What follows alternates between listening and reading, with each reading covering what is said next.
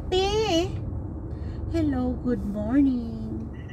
Si Lola, mag-adto na po sa ano, sa tampakan. Eh, maghatod ko og abono, chemical. Para nga naianihon.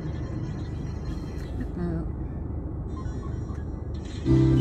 ang akong kauban. Ate G!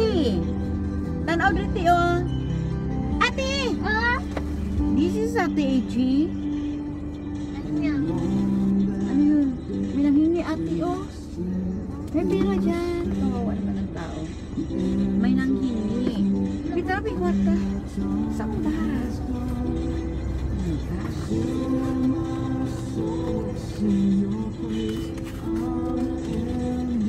Wala akong perang iba. So,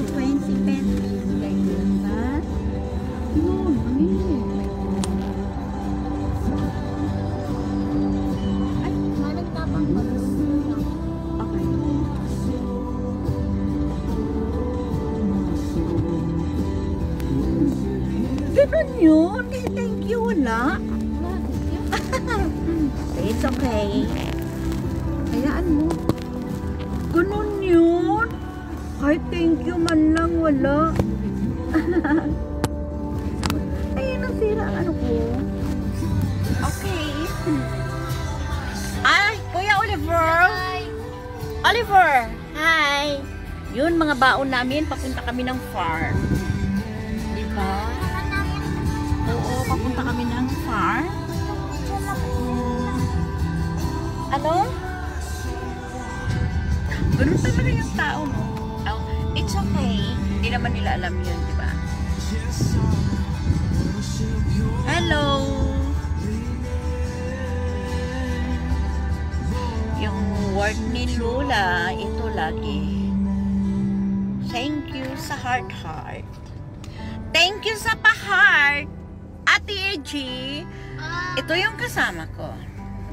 Papunta kami ng farm.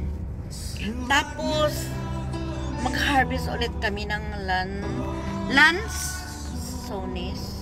So, happy sa sa garian kay happy to na ako manog saka. Si Lola din nakasaka. Ayun. Tay paayusin ko muna ang camera ko. Lagay ko dito. Because Oh. Asa mo? Mig farm. Mag-harvest na po mig lansones. Magatod mig abono dito para na ami anihon inday. Kumusta na makadiaday? Kasaw di day. Ang kinabuhi mo di day mao ni day. Hmm. Papunta kami ng ano.